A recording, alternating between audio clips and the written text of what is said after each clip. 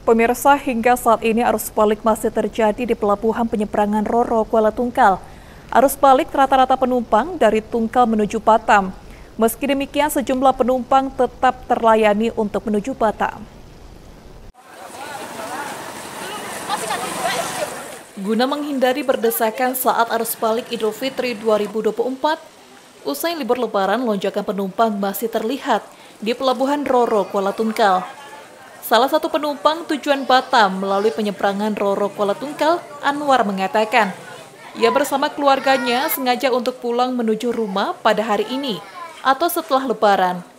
Selain menghindari keramaian ketika arus balik lebaran, setidaknya ketika berada di dalam kapal tidak terlalu ramai. Sedangkan untuk pelayanan fasilitas di Pelabuhan Roro Kuala Tungkal telah memenuhi standar. Salah satunya ketika berada di Pelabuhan Roro, penumpang dipersilahkan antri untuk membeli tiket. Di Pelabuhan Roro juga tidak ditemukan calon tiket penumpang karena petugas telah mengarahkan ke agen resmi loket.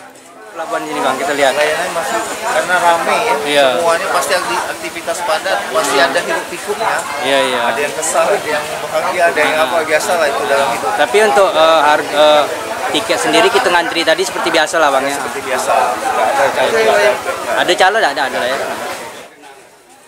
Sementara manajer KMP Satria, Sunam mengatakan, jika selama momen arus balik lebaran hingga saat ini, rata-rata arus balik penumpang pasca lebaran masih terjadi. Bahkan dibandingkan hari biasanya, kenaikan mencapai 85 persen. Selain itu, setiap harinya keberangkatan kapal melalui Pelabuhan Roro dari Tungkal menuju Batam, begitupun sebaliknya selalu berangkat dan standby melayani penumpang maupun barang yang ingin berangkat. Setidaknya khusus hari ini saja 450 tiket penumpang tujuan Batam laku terjual. Untuk uh, plus 78 ini uh, sudah uh, peningkatan baik penumpang maupun kendaraan gitu kan.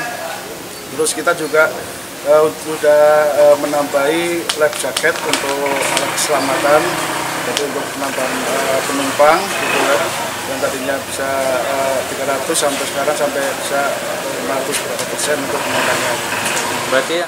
Untuk diketahui dari data Dinas Perhubungan di Pelabuhan Penyeberangan Roro Kuala Tungkal, khusus 18 April 2024 Kamis ini, terdapat penumpang 450 orang, penumpang umum dalam kendaraan 144 orang.